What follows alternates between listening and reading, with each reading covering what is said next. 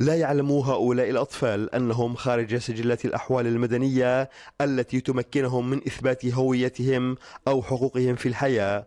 آلاف الأطفال هنا في ريف حما مكتوم الهوية والقيد في السجلات المدنية لدى المؤسسات الحكومية التابعة للنظام التي تثبت بأنهم سوريون لأسباب عدة تعمد خلقها نظام الأسد من خلال الإرهاب الأمني والعسكري الذي فرضه على السوريين.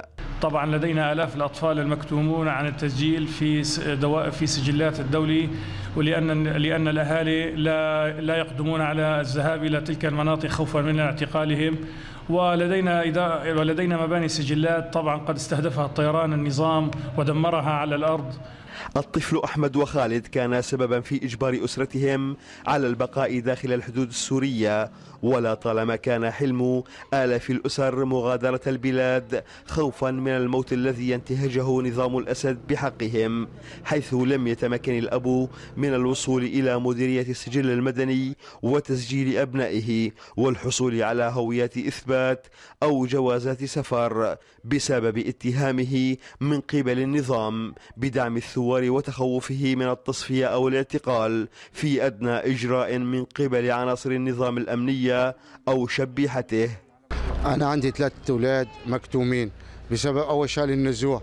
ثاني شغله ما عم نستطيع من كثر الحواجز الأمنية اللي عم بتقتل البشر والحجر ما عم نسترجي أن نروح نسجلهم. نشطاء حقوقيون وإعلاميون يتحدثون عن أرقام بلغت حوالي الاثني عشر ألف طفل في ريف حما.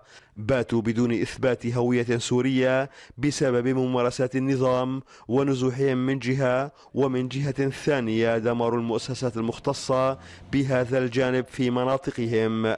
ونحن طبعا لدينا رقم حوالي 12 ألف طفل مكتومون عن التسجيل منذ بداية الأحداث وهذه الثورة لا ليس لديهم أي قيود أو أي سجلات على سجلات التسجيل المدني.